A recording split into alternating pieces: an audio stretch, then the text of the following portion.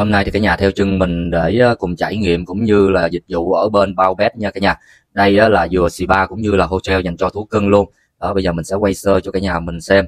Thì hiện tại là mình đang ở Bình Tăng. Đây là chi nhánh một của bao bét và còn hai chi nhánh nữa thì mình sẽ để ở dưới bình luận cho cả nhà mình cùng tham khảo nha. Thì bạn nào ờ, đang ở gần khu vực này, mấy bạn có thể qua để trải nghiệm thử thì hôm nay mình có dắt Elwie qua bao bét để mà trải nghiệm nha. Đây, khu vực xung quanh của spa cũng như là hotel dành cho thú cưng.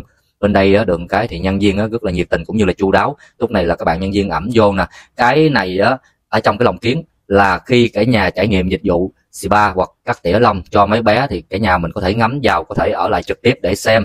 Nhân viên chăm sóc cũng như là phục vụ mấy bé như thế nào nha. Và mình thấy có một cái hay á ở bao bếp là khi á, tiếp nhận các bé vào spa á, các bạn nhân viên sẽ làm theo quy trình kiểm tra cơ thể như tay da và các bộ phận khác để tránh trường hợp mấy bé bị ve ghẻ viêm da mà bố mẹ không hay. Đó, rồi sau đó sẽ đề cập cho bố mẹ biết để nắm được tình hình sức khỏe cho các bé. Thì mình thấy cái này ở bao bếp làm rất là ok luôn ở cả nhà. Hồi đó giờ mình chưa từng thấy qua. Và còn cái nữa. Bao bếp là hệ thống spa thú cưng cũng như là hotel. Chuẩn năm sao uy tín. Hệ thống có ba cửa hàng lớn tại khu vực Hồ Chí Minh. Có khu vui chơi cho các bé luôn. À thì bây giờ nè, mình sẽ quay cái khúc mẹ quỳ nó đi vô cái bồn tắm cho cả nhà mình xem cái khúc này nè nhìn cái mặt ẻm mấy tiếu. Đó đi chạy ra chạy vô. Đó muốn đòi ra ba không à. Nè phóng lên luôn cái bậc này nè mới ghê. Chứ dạo này ở eo quỳ thì cái cân nặng nó chuẩn rồi. Nên nó chạy nhảy rất là tanh lẹ luôn nha.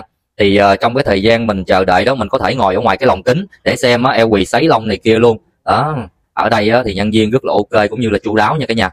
Bên spa bao bet còn đang có một cái chương trình là khi mấy bạn tham gia bao bet VIP member các bạn sẽ tiết kiệm lên đến 25% cũng như là ưu tiên khi đặt lịch spa hotel hỗ trợ đưa đón miễn phí ba cây số giảm 10% khi lưu trú và 10% khi mua sắm tặng các bữa ăn. Nhân viên thì chăm sóc 24 trên 24 luôn và tặng riêng cho khách VIP hàng tháng lễ và Tết nha. Lúc này là xong hết rồi nè. Mình chụp hình treo quỳ xong rồi dắt eo quỳ về. Và ở ngoài sau clip á mình có để cái lịch tham gia bao bet VIP member cả nhà có thể xem tham khảo nha. Còn đây là hình ảnh LV được chụp ở bên bao bét nè cả nhà. Đó, tắm rửa sạch sẽ rồi, còn được check in chụp ảnh nữa chứ.